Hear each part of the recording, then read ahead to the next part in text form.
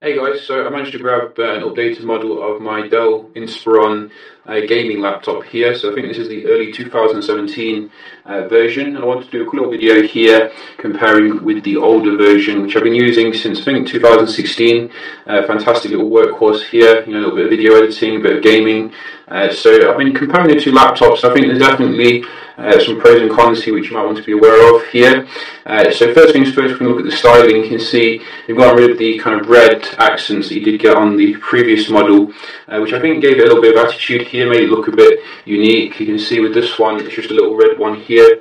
Uh, I do like uh, the kind of um, the uh, what do you call it? You know, the part which connects the screen to the keyboard. I think that looks a lot better than obviously these kind of hinges here.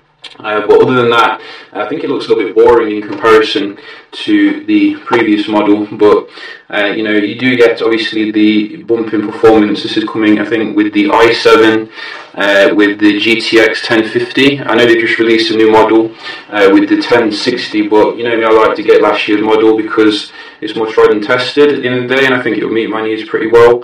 Uh, you're getting as well the, I think, Kaby Lake uh, architecture. So I have noticed a bump in terms of performance actually for many things because this was the GTX 960M and while it was a decent processor back in the day, it's like starting to slow down quite a lot now.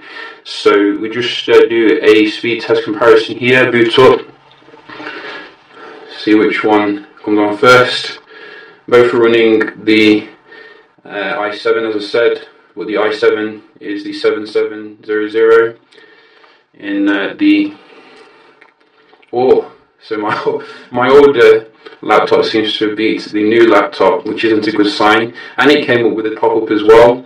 Uh, so you can see, you know, the left laptop has still got a lot of fight left in it. Both have SSDs, by the way, uh, so I'm not cheating when it comes to that.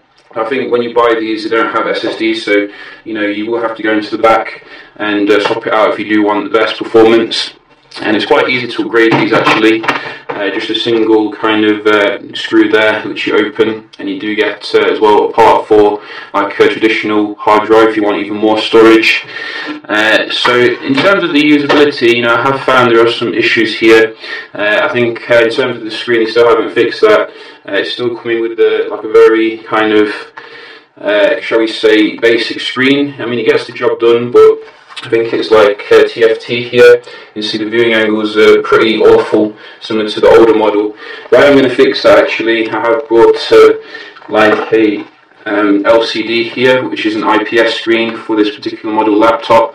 So that uh, is quite a cheap fix actually for you know something which you do really want. You want a good screen here on a gaming laptop. Uh, but I guess that's how they keep the price like below a thousand euro. Uh, so that's the first thing. The next thing is that it runs a little bit noisier than I would have liked. I mean, maybe if you, you can uh, hear this, but it's definitely making some noise here. And if I just uh, turn that off,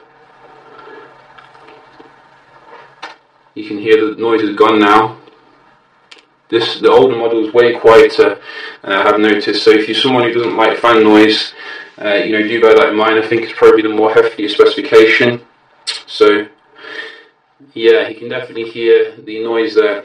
But other than that, as I said, you know, the actual performance, like editing, uh, a little bit of gaming, is top notch. Really, I definitely notice it's a much faster kind of laptop day to day. I wasn't expecting that uh, actually to be such a massive difference, really.